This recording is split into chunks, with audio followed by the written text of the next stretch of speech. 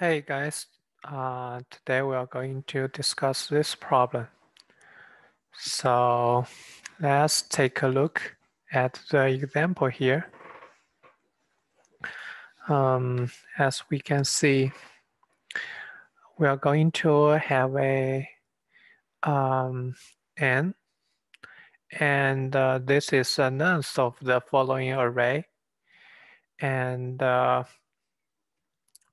uh, there are two zeros in this array and uh, two numbers are missing. That is one and four, right? Because in this array, it should be one, two, three, four, five. And four and four uh, and one are missing because they are replaced by zero. So we can either put a one here, put a four here, or we can put a four here and put a one here.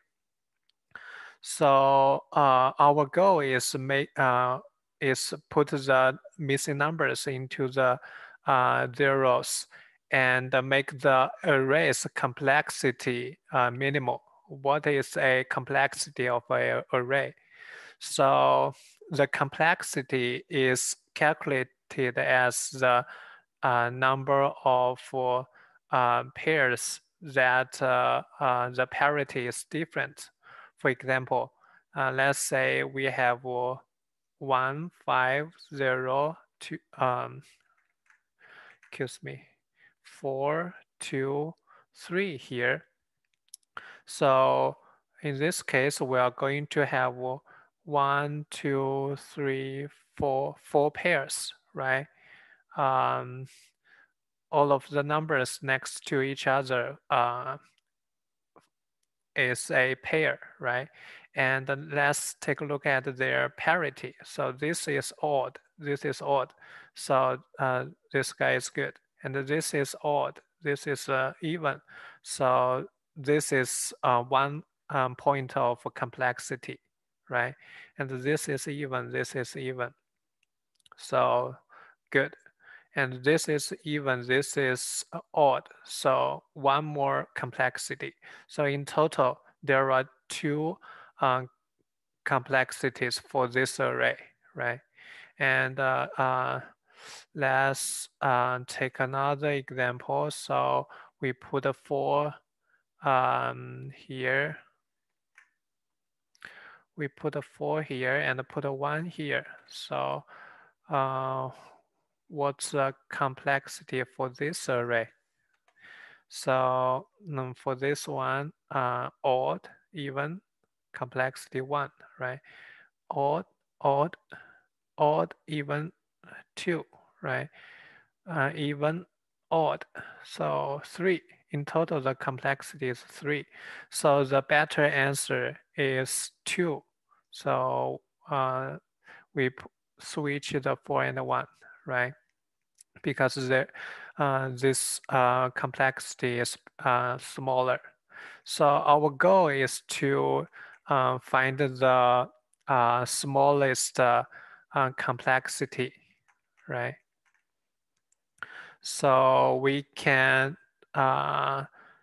take another example. So in this case, seven is missing, three is missing, and uh, six and four are missing, right? So what is the com uh, complexity for this array, right? Is uh, odd, odd, zero, odd, odd, zero, odd, odd, zero, uh, odd, even, one, even, even, zero, even, even, zero. So in total, the uh, complexity is one. So this is the um, smallest uh, complexity we can have for this array, right? So how can we find out the smallest uh, complexity for this array? So uh, we need to um, use dynamic programming for this uh, problem, right? So uh, what is our state? So we are going to have uh, f um, um, f n let's change fx um,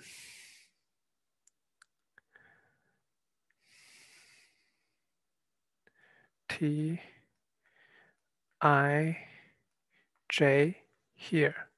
So what does this um, state mean? Uh, it means that uh, when we iterate from left to right, uh, the x is the um, is the um, index of the current item, right? And uh, t here is we uh, either choose one or uh, zero here. So zero means that uh, at this uh, particular place, we're going to put a even number at this place. And if t equals to one, that means at this place, we are going to put a odd number at this place, right? And what's i and j? i is the number of odd numbers we uh, still have. And j is the number of um, even numbers we still have. So to further explain that, uh, we are going to uh, uh, give an example here. So in this case, uh, in this case, we are going to um, put a number at uh, the first place, uh, right? So that means x here equals to 1, right?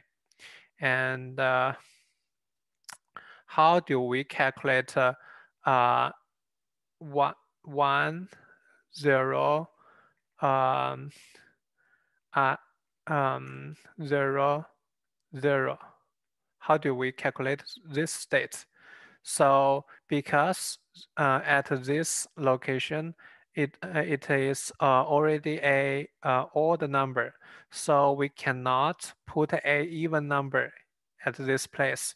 So of course, this state equals zero, uh, which means that uh, um, this state can never reached, right? This state is a invalid state. So, um, so what about um, one here, right? What about uh, one here? Uh, that means at uh, the first location, we put a uh, odd number at this place.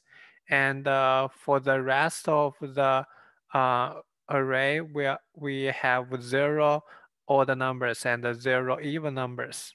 But uh, that's not gonna happen as well because for the rest of the array, we still have um, two, um, two odd numbers and two even numbers need to place, right?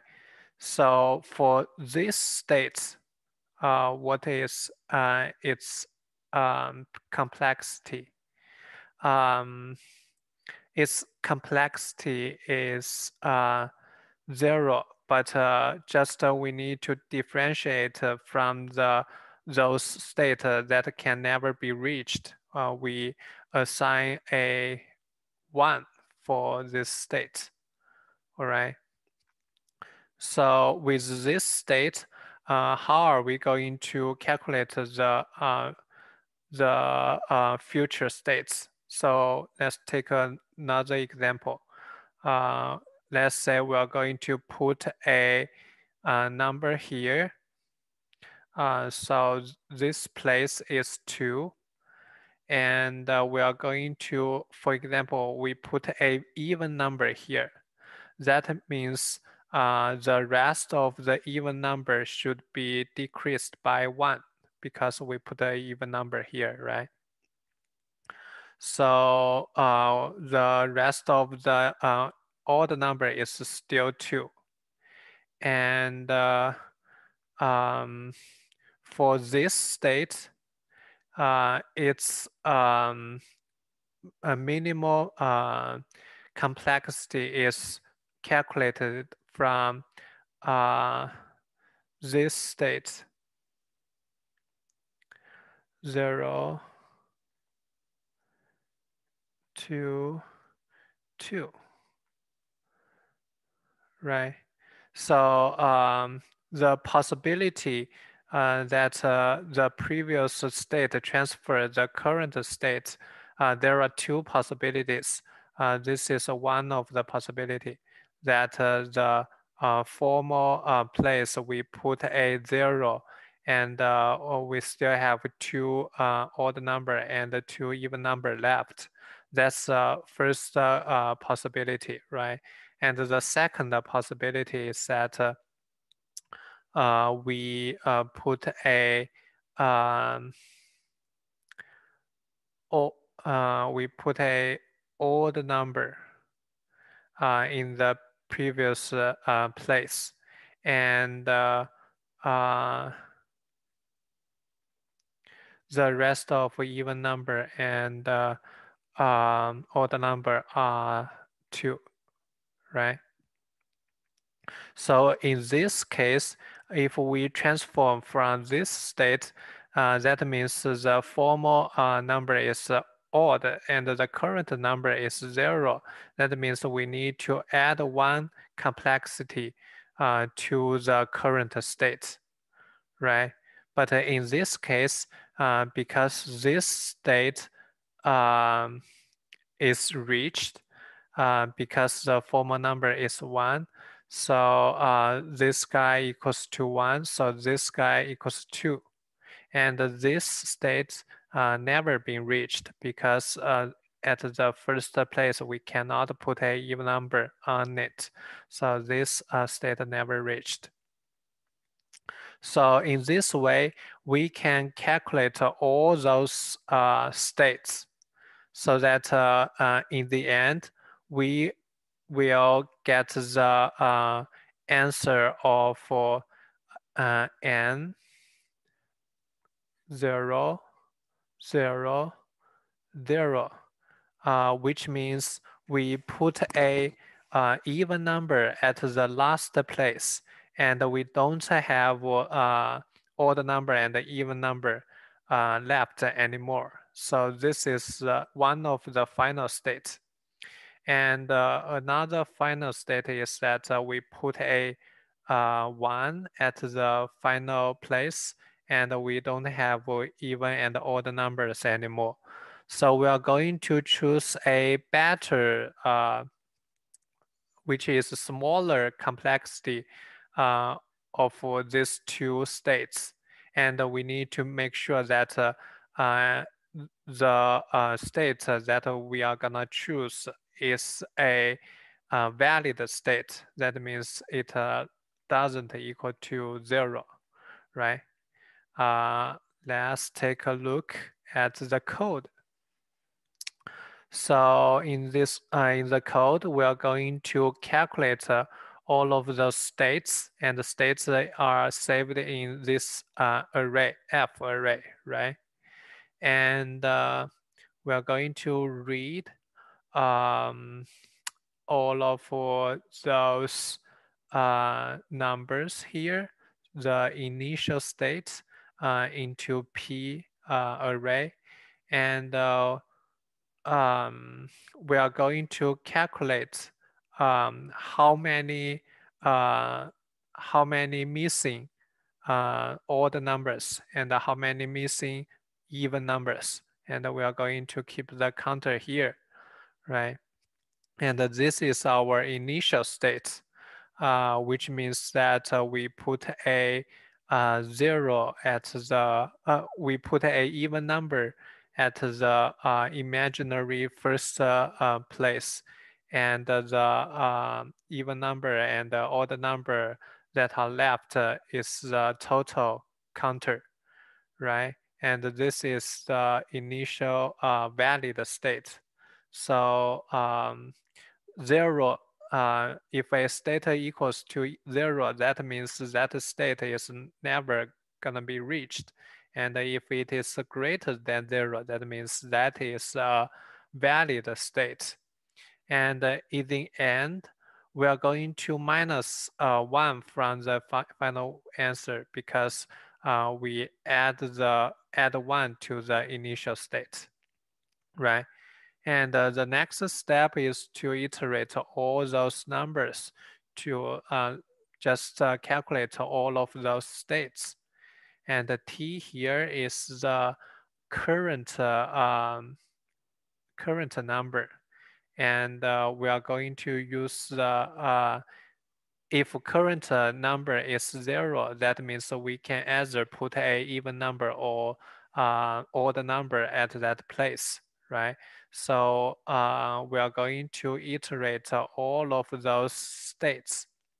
And uh, uh, if it is a even number, that means uh, we are going to check if the previous uh, state, uh, if the previous state is also a even number, and um, we're going to update the current state based on that, uh, based on previous state, uh, and so on, right?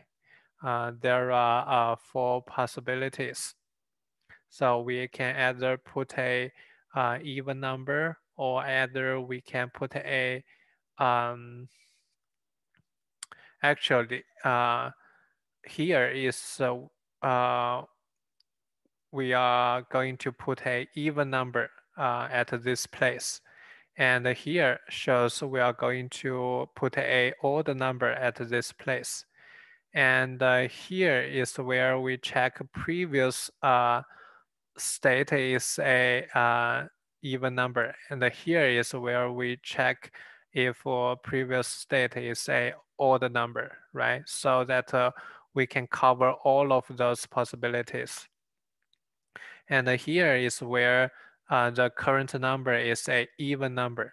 And uh, we are going to check if previous state is an even state or odd state and uh, we can um, put a even number here for this state, right? Because it is already placed a, with a even number. So we have to put a even number for this state.